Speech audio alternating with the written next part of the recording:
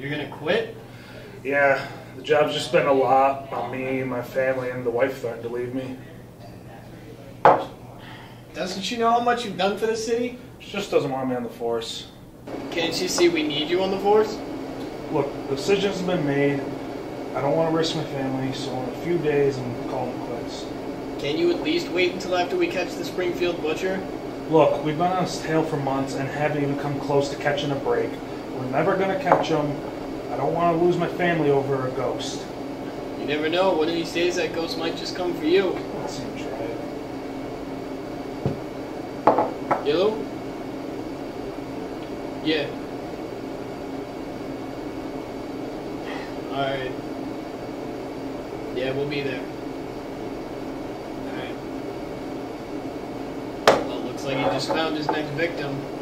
Somebody just found a body in the park. Well, looks like we gotta go. Didn't even get to finish my coffee. Have you seen yourself? You don't need the extra sugar. Go to hell.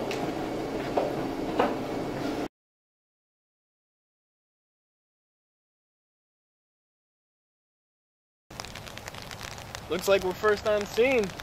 Yeah, lucky us. What's this? New broom. What happened to your old broom? Wife broke it. How'd she manage to do that? Over my head.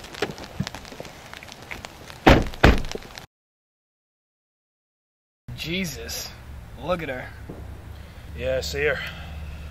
Ugh, looks like one shot to the head. Yep. I don't think it's the butcher. Why not? It's not his usual MO to shoot people out in the open like this. I think it is.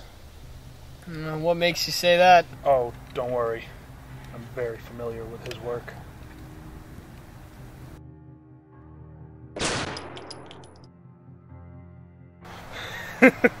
Surprise! It's pretty easy not getting caught when they send you after yourself. You did pretty well at not getting caught.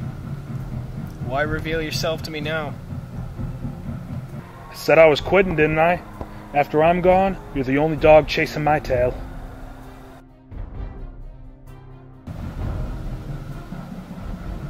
So you're gonna kill me? It's nothing personal. Just don't want to get caught.